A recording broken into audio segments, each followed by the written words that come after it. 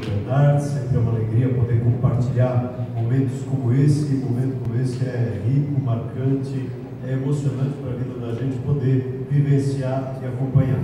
Quero saudar aqui a secretária Maria Regina, saudar a secretária Patrícia e parabenizá-las pela articulação em conjunto, em especial a saúde aqui, por essa ação, mas são duas pastas que têm um papel fundamental, tanto aqui no Paradesporto, como agora na ampliação do remédio em casa, que é uma ação que traz qualidade de vida e traz dignidade para as pessoas. Quero saudar aqui o vereador Alexandre Matias, o vereador Ricardo Alba, o vereador Caminha, é, que tem um papel importante na Câmara de Vereadores de acompanhar, fiscalizar e nos ajudar na discussão do orçamento e esse orçamento que nos dá a condição de realizar ações como essa no dia a dia, inclusive trazendo sugestões para melhorar e qualificar ainda mais esse debate.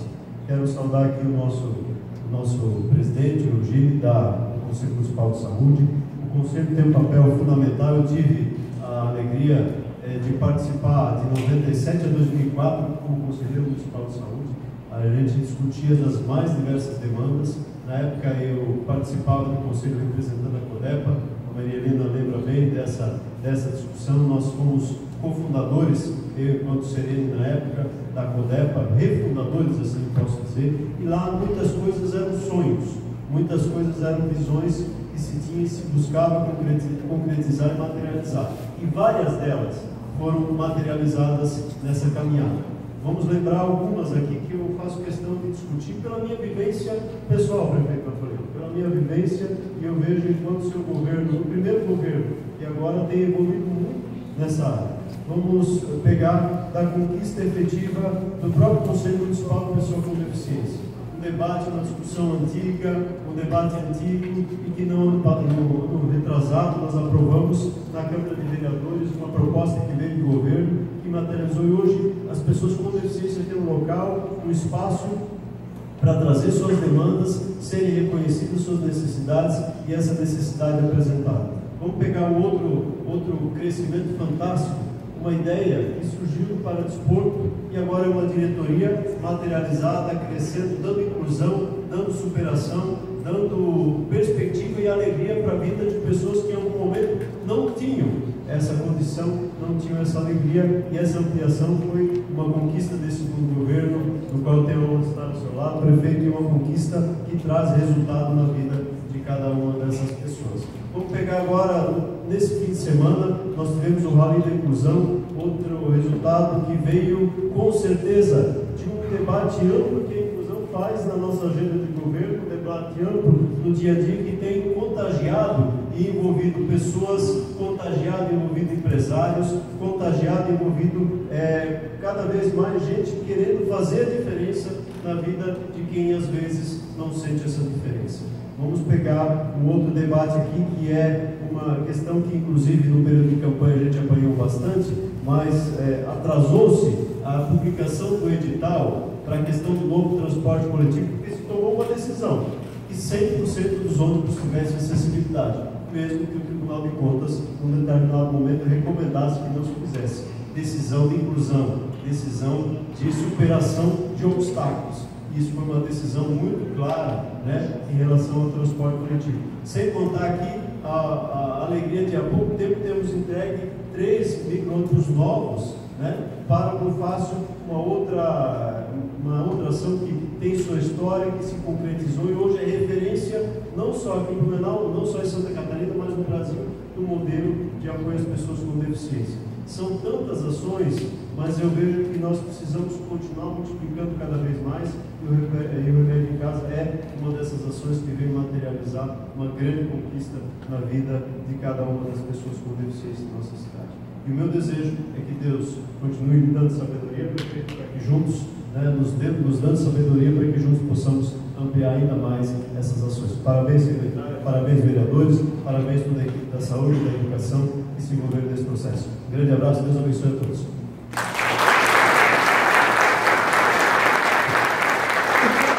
Convidamos para fazer uso da palavra o excelentíssimo prefeito Napoleão Bernardes. Bom dia a todos. Ato faz parte já da programação alusiva ao aniversário da cidade, a ser celebrado no dia 2 de setembro, e nós preparamos, então, enquanto governo, uma série de ações entregas, concretizações de muitos sonhos e muitas aspirações.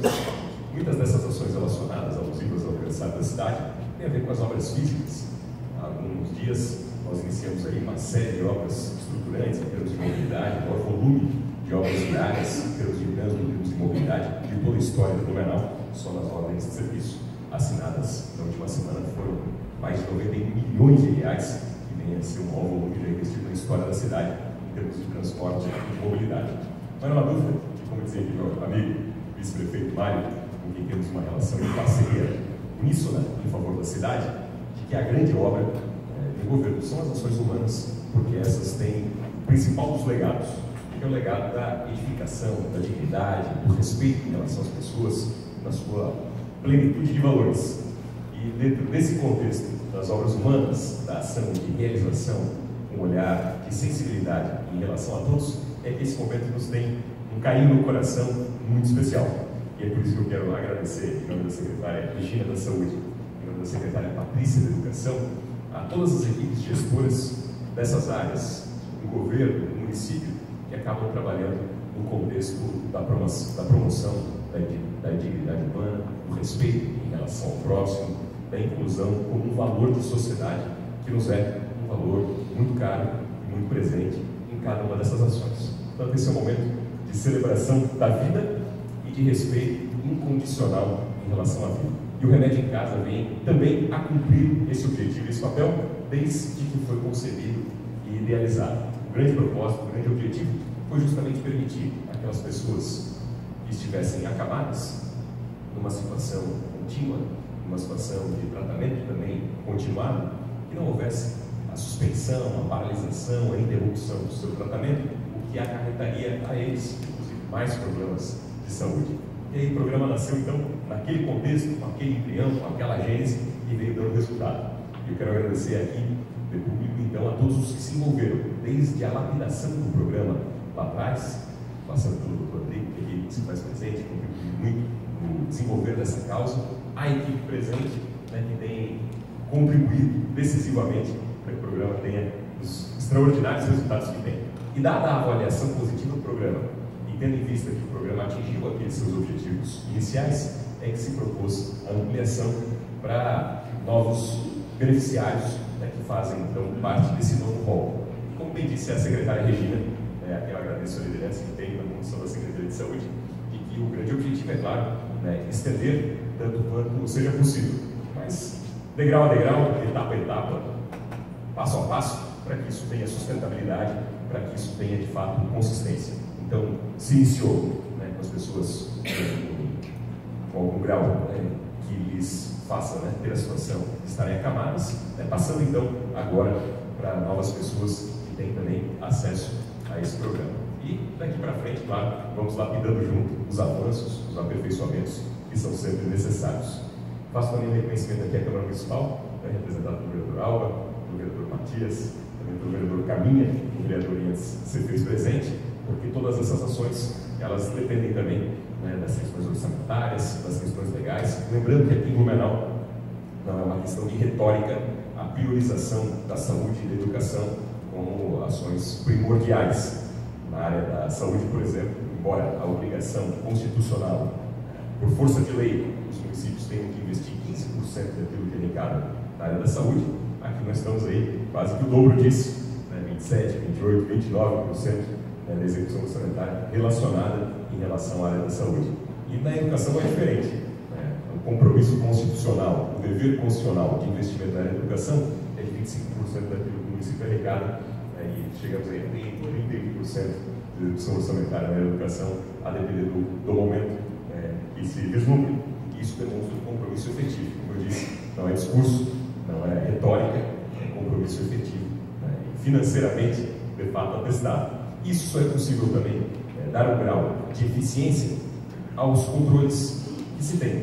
E aí a participação da comunidade, da sociedade é fundamental, seja através do controle social formal, é o Conselho Municipal de Saúde, representado aqui pelo seu presidente Mello, que a gente agradece a liderança, a dedicação, o ex-presidente Beni também se faz presente na sua gestão, à época, a presidência do Conselho, se iniciou a lapidação do remédio em casa, né? então tivemos aí um primeiro passo na gestão do presidente Mene, agora ampliação na gestão do presidente Melo, e esse controle social é de fato muito importante porque permite né, que a própria sociedade, usuários, profissionais, possam contribuir na lapidação, no aperfeiçoamento das políticas públicas, além da fiscalização e controle efetivo como tem que ser, além das instituições da sociedade civil.